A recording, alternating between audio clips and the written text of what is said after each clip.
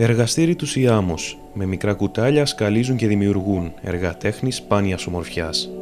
Για ακόμη μία χρονιά, μικροί και μεγάλοι έχουν την ευκαιρία να απολαύσουν μοναδικά έργα τέχνης, φτιαγμένα από άμμο, τα οποία θέλουν να περάσουν μηνύματα υπέρ του περιβάλλοντος, το καθένα με τον δικό του τρόπο, στο τέταρτο φεστιβάλ γλυπτική που φιλοξενείται για ακόμη μία χρονιά στην Αμουδάρα.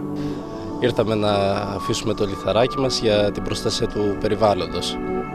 Να περάσουμε ένα κοινωνικό μήνυμα στο να κρατάμε τις ε, θάλασσες και τις ακτές πιο καθαρές.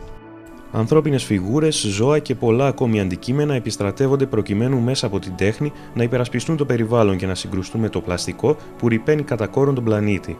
Με πολύ μεράκι, οι γλύπτες κατασκευάζουν αριστουργήματα που μπορεί να τα απολαύσει κανείς σε διάφορα σημεία της παραλιακής περιοχής της Αμουδάρας σε μια διοργάνωση που έχει γίνει θεσμός. Κάνουμε έργα από 2,5 έως 3 μέτρα ύψους, τα οποία αφορούν όλα το περιβάλλον.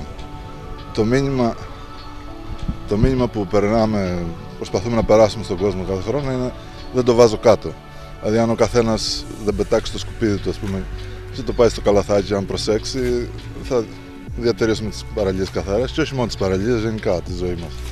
Τι συμβολίζει το γλυπτό που έχεις πίσω σου; Το γλυπτό απεικονίζει ε, τη θάλασσα ως γυναικεία μορφή ε, με μια έτσι μυθολογική υπόσταση ας πούμε και τα σκουπίδια που την περιβάλλουν και την καταστρέφουν. Αυτό το έργο ανταναπαριστά δύο δελφίνια.